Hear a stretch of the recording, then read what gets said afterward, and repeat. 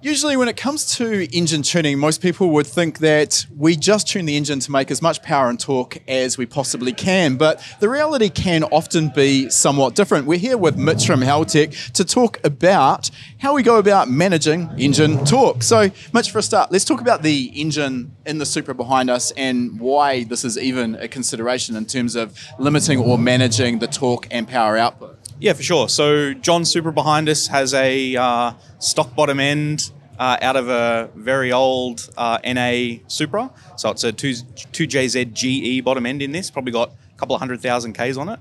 Okay, so this is still turbocharged even though it's running a naturally aspirated block. Yeah, correct. So it's got a built cylinder head on it, uh, Precision 6870 on it, all of the intake and exhaust mods that you'd have on a on a, a circuit car. But yeah, everything below the cylinder head still as Toyota intended it. All right, so there's a couple of considerations there with the 2JZ that I just wanted to mention. So obviously naturally aspirated with a stock piston, it's a cast piston. Strength is an issue there. Compression ratio is up, although I'm guessing you're probably running on a good fuel like E85 where that is not necessarily an issue. We've got conrod strength to consider. Another known weak point with the 2JZ is the strength of the main bearing cap or the, the cap that holds the, the crankshaft in the engine. These break and it depends who you talk to, maybe 900 wheel horsepower, maybe 1,000 wheel horsepower. Is there anything I've missed in that list? Uh, yeah, so you've covered pretty much everything. Rod bolts are also a big thing. So yeah, keeping the RPM down is something that you need to yeah definitely keep in mind. Let's talk about those rod bolts because I think this is an area that uh, there's a little bit of confusion and misconception. Uh, there's a, diff- a, variety of different grades of rod bolts. Obviously, in this engine, it's a stock rod bolt. Uh, there are upgrades for stock rod bolts, and then even if we're looking at aftermarket rods, there's a variety of different rod bolts available, different materials, different strengths. What's important here, though, is it's not actually related to the engine power, is it, in terms of what rod bolt we want? Talk to us about that.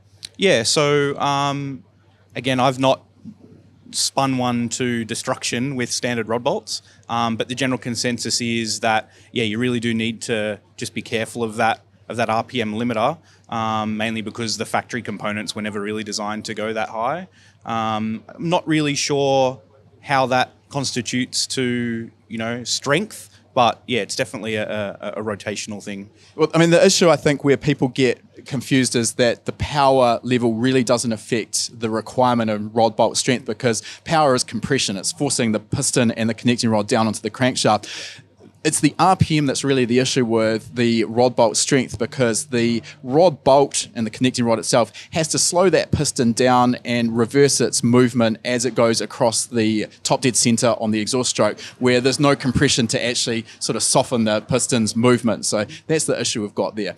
All right, let, us move into the tuning element. So for a start, I just want to talk about what we're trying to achieve generally. If we've got an engine with, let's say, unlimited strength, it's a unicorn. Uh, when we're on the dyno and we are tuning ignition timing. We're looking for a term referred to as MBT, minimum timing for best torque, maximum brake torque timing.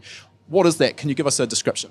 Yeah, so that's where the engine's making the best amount of torque uh, at the earliest RPM possible. That's when the engine is generally under the most under the most stress.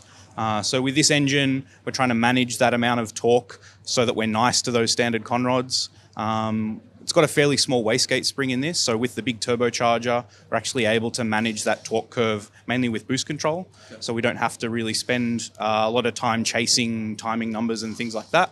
Um, so yeah, it's it, it's a pretty simple simple setup, but yeah, it works well. So just to dive a little deeper into that, when, when it comes to optimizing our ignition timing, what we'll generally do is start with a, a, safe, relatively retarded ignition timing number, and we're looking at the torque numbers on the dyno, and we'll creep that timing up. And what we're trying to do is basically start the combustion event so that we achieve maximum cylinder pressure at a point in the engine cycle where we can get maximum mechanical advantage from that pressure acting down on the piston. Might be somewhere around maybe 14 to 18 degrees after TDC. We've got the piston a little bit down and it's got the angulation on the connector rod. When we push down on that piston, it actually rotates the crankshaft. So that's what we're trying to achieve. But the end result of this as well is when we're achieving that, we've got a lot of cylinder pressure, correct? And that can be damaging to our engine components? Yeah, for sure. And when you're running a, a fuel like E85, it can sometimes be hard to find that point of MBT because you can actually continue to put ignition timing in and the engine will take it until you come to a mechanical failure because you haven't reached the knock limit of the fuel.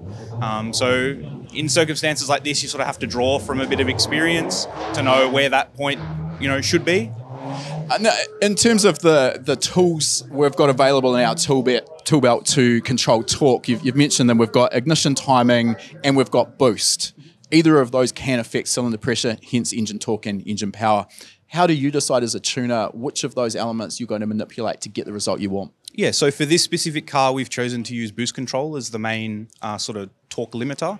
Uh, so I mentioned before, it's got a, a, fairly light wastegate spring in it, and so we're relying pretty heavily on the closed loop boost control to give it a nice boost curve uh, to keep that torque fairly flat. The ignition timing, that's just sort of a, a known um, setup that I generally use with these engines. Uh, I know that they last like that. So yeah, the, the ECU has full closed loop boost control. We've got a few different levels in there that the driver can choose from, and that sort of just changes the power level and that torque curve.